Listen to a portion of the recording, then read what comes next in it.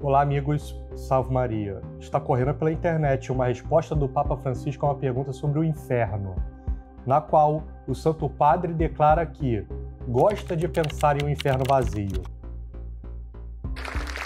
In, in conseguenza di queste parole è anche difficile immaginare l'inferno. Come un padre che condanna in eterno è difficile immaginarlo, insomma. Eh sì, è difficile immaginarlo. Questo non è dogma di fede quello che dirò, è una cosa mia personale che a me piace. A me piace pensare all'inferno vuoto. È un piacere. Spero che sia realtà, ma è un piacere. Esta fala escandalizou boa parte do mundo, porque é muito distante do ensinamento dos papas e dos santos ao longo dos tempos. No século XX, o teólogo ultraprogressista von Balthasar reformulou a proposição abertamente herética de que todos os homens são salvos para a ideia de que devemos ter uma esperança razoável de que todos os homens são salvos. Trata-se de uma afirmação problemática, porque se você tem uma esperança razoável de que o inferno está vazio, você vai negligenciar a vida de oração e a frequência dos sacramentos. Afinal, nesta visão, alguém para ir para o inferno teria que fazer muita força, sendo um genocida do estilo de Stalin, Fidel Castro ou Che Guevara, por exemplo.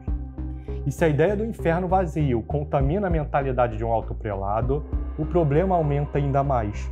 Pois se um bispo acredita que todo mundo, ou quase todo mundo, está indo para o céu, para que ele vai querer lutar pela conversão dos judeus, muçulmanos ou satanistas? Melhor lutar por uma igreja preocupada com o meio ambiente, com dinheiro das campanhas da fraternidade, com encontros ecumênicos e com a bênção dos pares gays. Mas vejamos alguns exemplos do que os santos disseram ao longo da história, para percebermos o quão distantes eles estão do que o Papa Francisco declarou. Para Santo Agostinho, nem todos, nem mesmo a maioria são salvos. Eles são de fato muitos, se considerados por si mesmos, mas são poucos em comparação com o número muito maior daqueles que serão punidos com o diabo. E é certo que poucos são salvos. Para Santo Tomás de Aquino, aqueles que são salvos estão em minoria. Santo Afonso, todo mundo deseja ser salvo, mas a maior parte está perdida. São João Maria Batista Vianney. O número dos salvos é tão pequeno quanto o número de uvas que restam após a passagem dos apanhadores de uvas. São Felipe Néria.